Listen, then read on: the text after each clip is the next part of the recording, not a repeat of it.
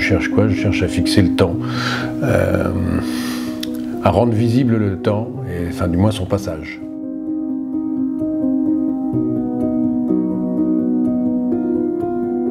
J'avais cette grande salle comme ça, grande verrière, qu'on avait recouvert euh, de sable pour l'occasion, et j'avais installé donc ces sept sculptures.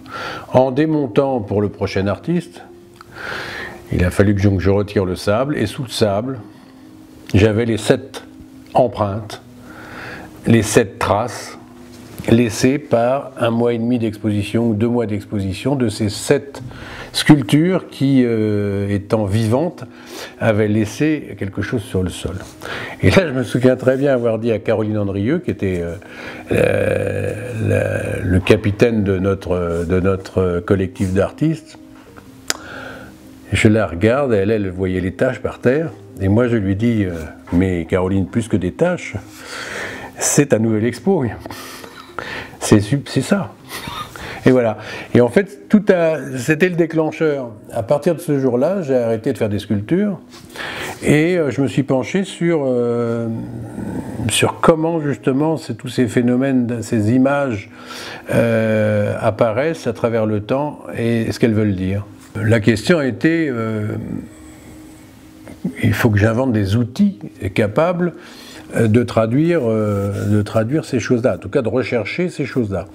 Donc j'ai commencé tout simplement par établir un vocabulaire de forme, un peu comme un alphabet de forme, un alphabet. Et donc j'ai fabriqué des formes susceptibles de capturer des événements dans un espace à travers le temps. Le dispositif, pour que vous compreniez, c'est ce que j'ai appelé des matrices en fait. Des matrices sont des formes en acier euh, sur lesquelles je pose une toile. Donc c'est une surface d'échange sur laquelle je mets une frontière qui est la toile euh, je fais ce geste-là par exemple parce que c'est le, geste le plus évident, c'est comme un livre ouvert, hein, on pose la toile comme ça dessus et, euh, eh bien plein de choses vont, la vie va s'installer dessus, euh, plein de phénomènes vont s'installer et qui vont créer donc une image. Après avoir fait ce vocabulaire de forme, je suis parti sur d'autres d'autres formes que je trouvais tout simplement dans la nature ou dans la ville, partout où l'énergie se déploie.